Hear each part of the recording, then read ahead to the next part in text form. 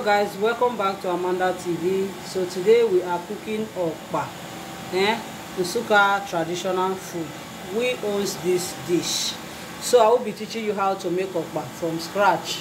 So first you get your pot add it water just allow it to to get warm that you can put your hand inside. Then we will start mixing the okpa from there. So first and foremost you prepare what you will use in making this okpa number one you have red oil. You need red oil to prepare your okpa you also need salt. You also need salt.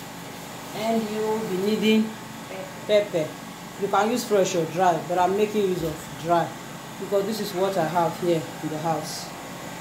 And this is uda. Many of us know this thing. This is uda. So we'll be adding this soda to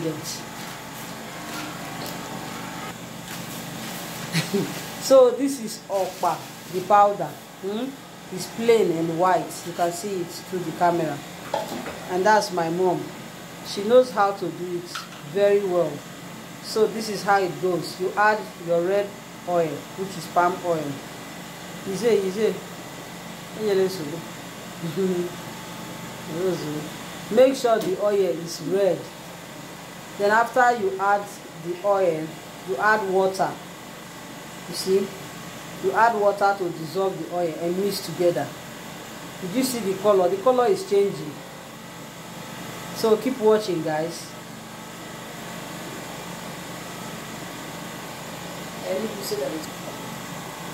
You can see they are almost mixing together. You can see how it looks now. uzuza yeah own kuru i'm not okay. This is uda sorry it's not uzuza this is uzuz, uziza uziza. But I, I thought it's uda it's uziza. Pardon me guys. It's been long. I ate this kind of food. So now we are adding salt.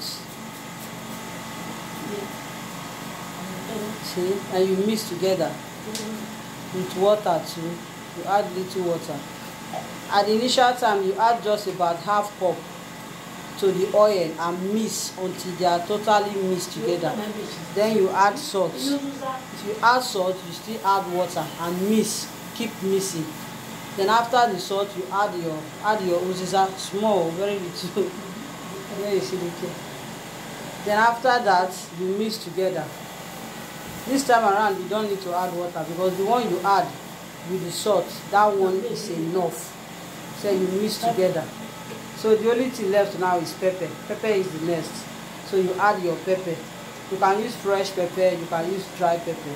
Like i told you i have only this fresh pepper eh, dry pepper because my fresh pepper is already dry so i have to grind it before i can use it.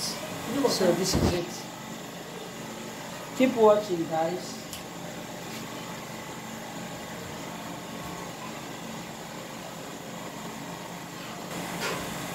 Can you see that?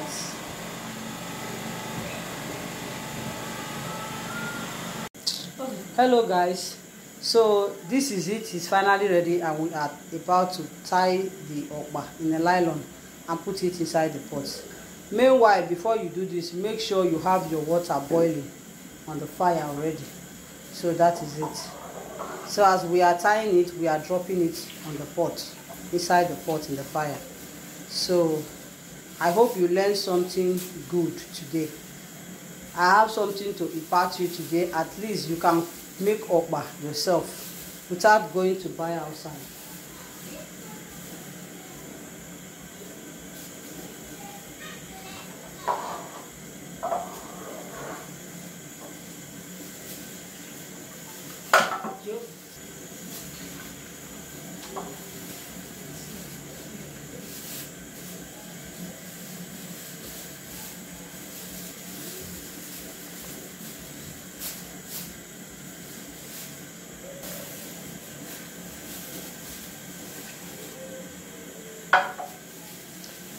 The way they are tying it is going to.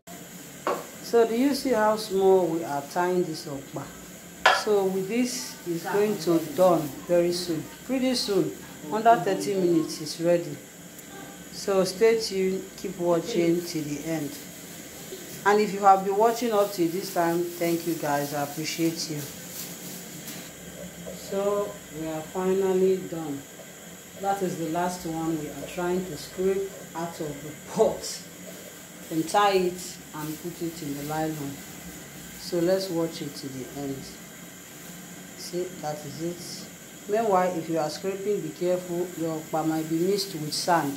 So at the bottom part be careful while you tie it. Let's see bring your hand hand i wanted to see your hand. That is the last one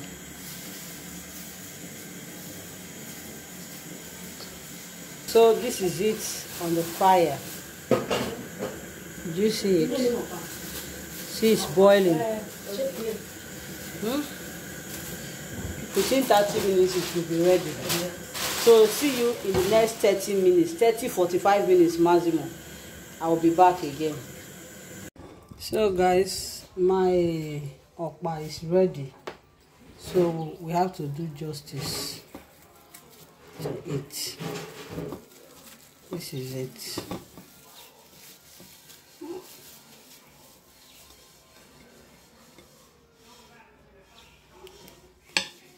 Oops. Can you see it guys? This is yummy. This black spot is because we pounded it. We did not grind it with machine so if you have access to machine or any blender you can use it.